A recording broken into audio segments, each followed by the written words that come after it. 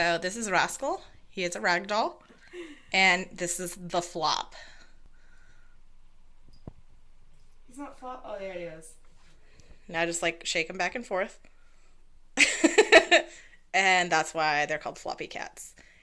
Who's your rascals?